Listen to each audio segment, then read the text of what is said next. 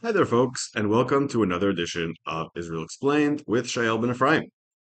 Today, we're going to be talking about a part of the war that seems pretty peripheral to Israel, but is getting very real and very important to the United States and other countries in the world.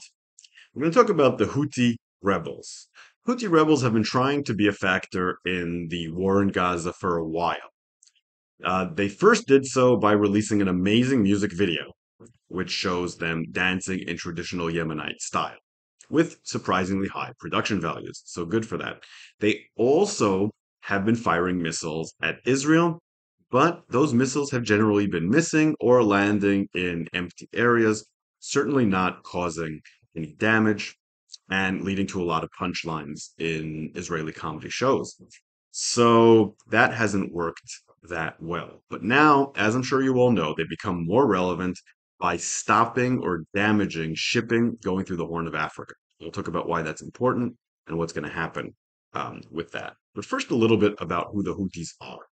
The Houthis are now a terror group made up of Zaidi Muslims. Zaidi Muslims are 35% of the population of Yemen, so an important minority in the country.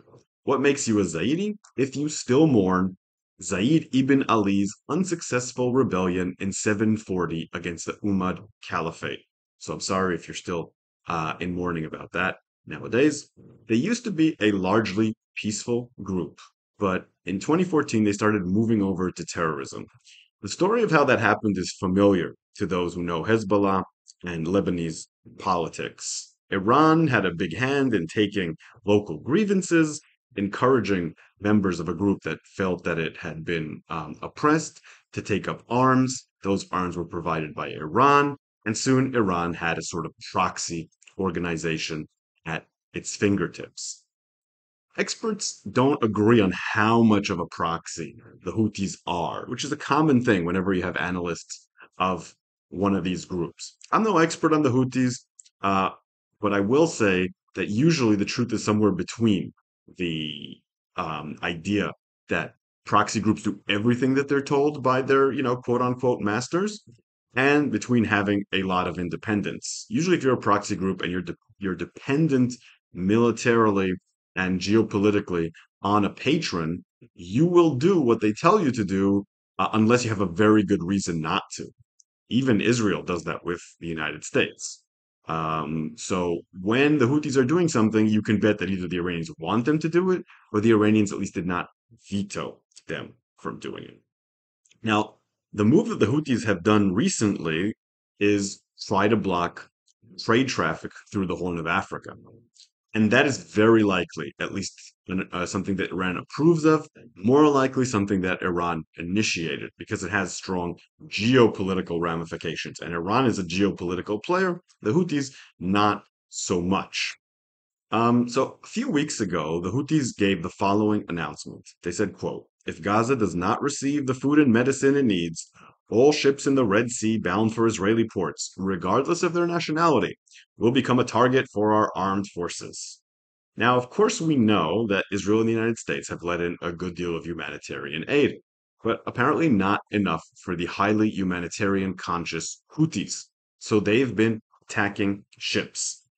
Uh, we've seen three ships that we know of come under attack in international waters in the last week. There's probably more that we don't.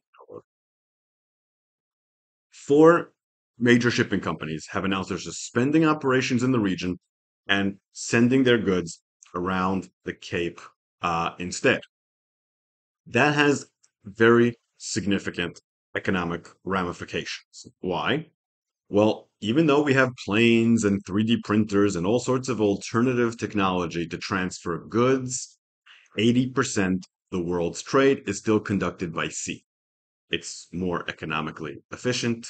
And so anything that's not very urgent will go by sea. Out of that 80%, about a quarter goes through the Horn of Africa. And it's easy to see why. If you want to trade from um, Asia to Europe, you will want to use the Suez Canal, and there's no way to get through the Suez Canal without going through the Horn of Africa.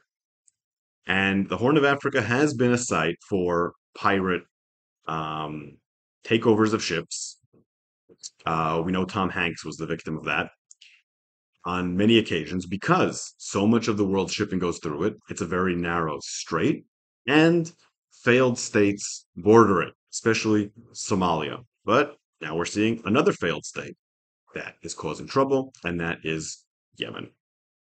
Um, so we have four major shipping companies that suspended operations there. Like I said, the war risk premiums have risen from 0.07% of the value of the ship to 0.2%. And that is almost times three. So that bites into profit margins. And what does that mean? That means that consumers pay more for everything that is shipped, and in particular, oil. So that also adds to inflation and it destabilizes the global economy. Now, if you know anything about international relations theory or reality, the most powerful country in the world is usually responsible for guaranteeing the shipping lanes because they profit most from trade and stability of the international system. The United States, having taken some significant hits in the international system, is still considered the hegemonic power, has by far the biggest navy in the world, and has traditionally taken the responsibility of keeping ship lanes open, including in operations uh, against piracy in the Horn of Africa, which again brings us to Tom Hanks, who was rescued by American forces in the movie, at least as far as I remember. I don't know, I saw it ages ago. Uh, so the US is going to react to this provocation. It's just a question of how and when we'll respond to the uh, provocation. Uh, Secretary of Defense Lloyd Austin is currently in Israel, and he plans to go to several nations in the region his goal is to create an international coalition that will open the shipping lanes.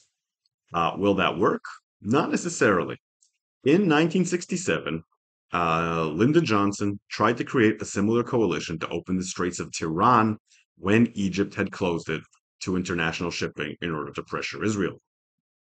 He tried to get Canada, the Netherlands, and other friendly countries to join, the coalition ended up falling apart because uh, a lot of countries didn't want to take a too firm a side, end up having their ships shot at, end up being boycotted by Arab states. So it didn't work at the time. And it may not work now.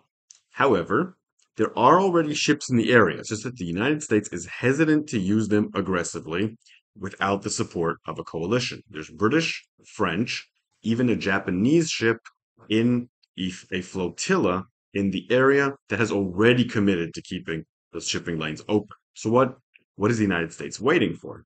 It's waiting for Middle Eastern partners. Uh, it wants the UAE to join, and the UAE there's a high likelihood that they will join, from what I'm hearing from various sources.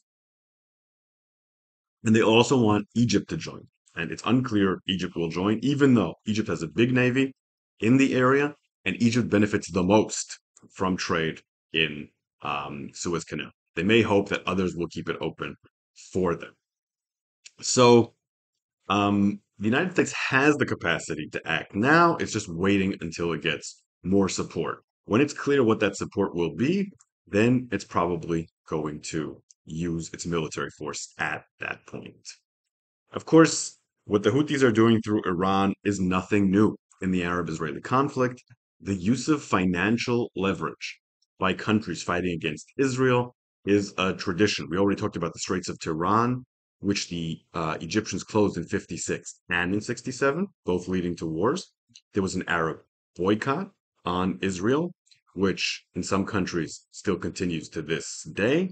And most dramatically for the United States, in 1973, the OPEC nations started a boycott on countries supporting Israel and also lowered production, causing a bona fide economic crisis in the United States and in Western Europe that changed the geopolitical balance in the region and opinions towards the Arab Israeli conflict deeply.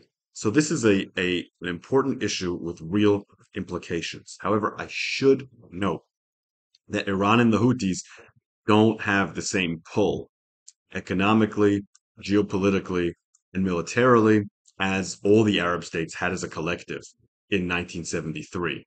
So I don't think it'll be that dramatic, but that's why the United States is so worried and trying to form um, a coalition. Now, it will likely take several weeks and possibly even a even uh, two months or three months to put together this coalition. But just the announcement that the coalition exists might be enough for the U.S. Navy to go after the Houthis. It doesn't really need um, the rest of the coalition on a military level. It needs the rest of the coalition just on a diplomatic level. Although the Egyptian Navy would certainly help on a military um, on a military level as well. So the U.S. has two options here, and I'm not sure which one they'll take. And it probably depends on how ferociously the Houthis keep going after ships. One is to reactively accompany ships going through the Horn of Africa. Um, that would involve defensively trying to protect the the ships going through without seeking out Houthi targets.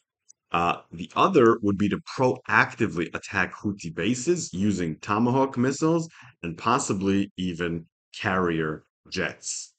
Uh, this might be where the UAE comes in because the UAE has a pretty good air force now, based on American planes, and the Houthi bases are well within range of the UAE. So that may be part of what the talks are. You may notice that one country is not being mentioned in this coalition against the Houthis, and that country is a country that has a long standing beef with the Houthis, and that's Saudi Arabia.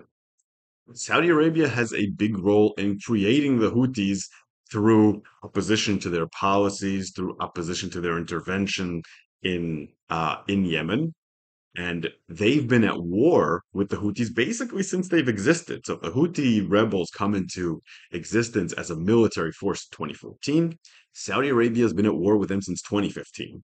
But Saudi Arabia is currently involved in a policy that is trying to remove them from regional conflicts. I think that's the best way to understand what Saudi Arabia is doing, right? They have that peace initiative with Israel that everyone was talking about, currently on ice, not necessarily dead. But they also had rapprochement going with Iran. They, Iran and Saudi Arabia mutually recognized each other after years of not doing that and not having diplomatic representation in the other country.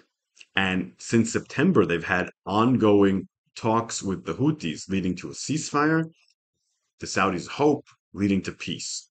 All this because the Saudis are trying to pivot to a more modern economy so that they can move away from oil and become a goods and services economy in the long run. They're trying to attract tourism, they're trying to attract investment. They don't want war. So they're not going to be involved in any of these um, coalitions against the Houthis. It's very important to them that uh, they manage to get peace with the Houthis. Whether that will last or not is a very good question.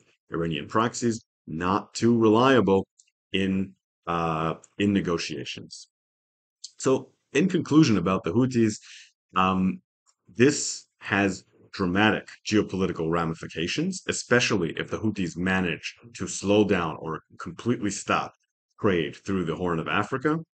The current losses of shipping through there are already significantly affecting the global economy, so the US will be forced to act. And that already means that the US is part of this war and operationally part of this war, even though indirectly. So this will have dramatic effects also on the role of the United States in the war. And we'll be watching that closely. Watch this space. And now let's answer some of your questions. Um, Jario or Jario, I don't know, super. Would you mind covering what the current state of public opinion is actually like on the Israel Gaza conflict? Social media is obviously skewed, and I haven't seen any accurate large scale opinion polls within Western countries to see if support for Israel has significantly changed. Okay, this is a very large topic, so I'll only touch it very briefly. Um, regarding the United States, the polls show a pretty clear picture. Support for Israel overall is strong and steady, no matter what poll you look at. The one exception, as we all know, is the under 24 group, which I've seen some pretty different pictures of. According to some polls, it's divided.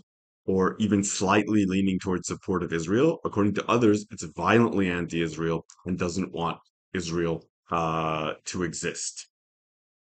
And we'll get into that. Um, but overall, support for Israel is strong. A recent Wall Street Journal poll found 42% in all age groups support Israel, and only 12 support the Palestinians.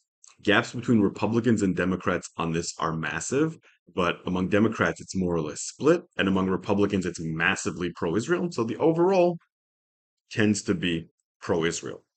Um, Biden's response in that poll got a 37% approval, but the reason for that is because some people think that Biden's doing too much, and some people think that Biden's doing too little. So his criticism isn't coming from one side. He's finding a kind of happy medium in a sense, but like everything else with Biden, it's unpopular. His happy medium is not popular in an increasingly polarized society. Um, then there's another interesting poll. I just saw the Harvard Harris one.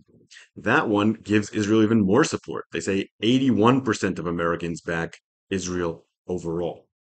But what was even more interesting was their analysis of the 18 to 24s. And I think the analysis in the Harvard Harris poll really shows you why the polls are so different regarding that age group. And you see so so many different um, uh, Uh, interpretations of this and numbers. It's because people between 18 and 24 are very confused. I think we already know that, but the poll shows this. They don't really understand the facts. So you tell them different things, and they will often agree because it sounds logical. So here's an example 51% of 18 to 24s think Israel should be ended and handed over to the Palestinians. And that got a lot of headlines. But what got less headlines in the same poll is that 58% of them think that Hamas should be removed, and most consider them terrorists who have performed genocide, over 60%. But over 60% also think Israel is performing genocide. So basically, young people don't seem to like either side. They think they're both performing genocide. Um, the majority still believe in a two state solution, including a lot of people who said that Israel should be ended. So they're talking about two completely different solutions. Basically, whatever you say to them, they're agreeing to varying degrees. So they're confused, and it shows. They're not um, uniformly anti Israel in a coherent way, they're anti Israel in an incoherent way. As for other countries, um, there has been increased support for Israel in a lot of Western European countries. Uh, my guess is because of the violent pro Hamas jihadi demonstrations. Um, so what we're seeing in a lot of these places is more bitter hatred towards Israel among the people who are inclined to dislike it, and more support among people who are tending to support Israel, and more support among neutrals who um, are increasingly seeing not so much that Israel is doing great things, because most people think that Israel is killing civilians um, indiscriminately, which it's not, but uh, a lot more of a sense that Hamas are terrorists and their supporters are terrorists. So there's a lot of different things going on. Israel is not losing the PR war in the way that people think that it is. It's actually holding its own quite well. But, you know, social media will social media. Okay, Pratchett Gaiman. And by the way, I love that name. Great writers. Do you think that the hostage deals will also include releasing Avera Mengistu and Hisham Al Sayed, uh, who were taken in, I'm adding, 20, in 2015 and 2014, respectively. Uh, unfortunately, the answer to that is no. Uh, Hamas may surprise Israel, and if they do, uh, that will win them some brownie points with Israel or Qatar or the United States or everyone involved. So they do have some interest in doing that. They've both been on Israel's radar for a long time. Um, Avera was taken in a military operation um, Hisham uh, wandered over into into Gaza. Um, Hisham may well uh, be dead. I've heard that his um, health condition has deteriorated greatly in 2015. Sorry, in 2022. So we don't really know that he's alive. Uh, Avera, there's a better chance that he's alive. We don't have any real evidence that his health is deteriorating or anything like that but I don't think that he'll be released. Hamas hasn't been offering them, and Israel has been asking about them. So that would be a great surprise. Uh, it's not impossible, and I'll tell you why. Hamas is currently scrambling to get enough people for a future hostage deal if they find that one would be in their interests.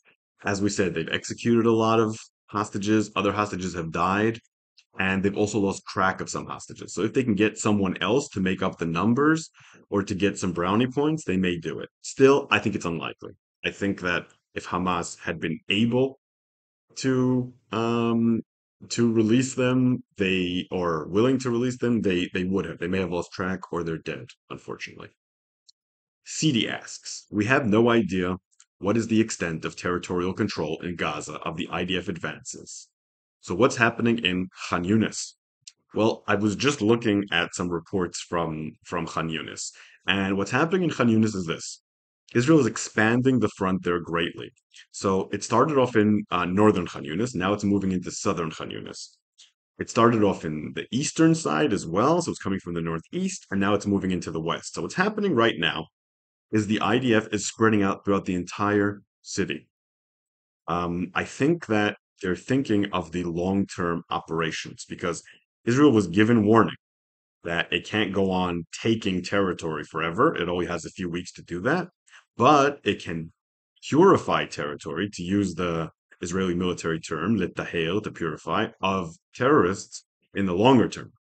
So I think it's spreading out its control in Khan Yunis over a wide area geographically, and then it will be able to take its time cleaning the areas out. So I think all of Khan Yunis, I'm just guessing, will be under light Israeli control. When I say light Israeli control, I mean Israel will have soldiers everywhere, but they'll still be terrorists.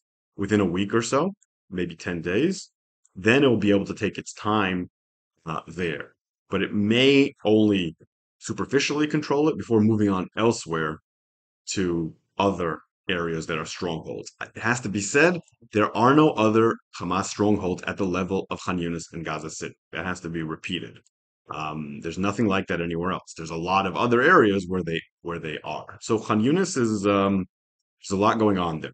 Jabalia, I'm told by the IDF, has completely surrendered. The Jabalia battalion is gone, and Shujaiya is uh, almost completely destroyed, not only in the sense of its battalion is almost completely destroyed, but the neighborhood is almost completely destroyed. Israel's basically razing that neighborhood to the ground. So that's what's happening now. Those are the three focuses. Finally, Fred says, close friend to the show, Fred, I have a comment and a question. This is referring to the video I posted yesterday. I don't think the breakdown between the hostage firsters and the beat Hamas firsters is as clean as the pro and anti judicial reform protests from the spring. Yes, the hostages were primarily from the South, which was very involved in the anti reform pro democracy movement. However, I think the breakdown is more along the lines of hostage families and their supporters on the one hand, the families of the 10 7 deceased and those serving in the IDF on the other. The latter probably feel like Israel is valuing the lives of the hostages more than those of the soldiers and other citizens affected by this war. The question Do you think the hostage families are making a strategic mistake by going after Netanyahu personally?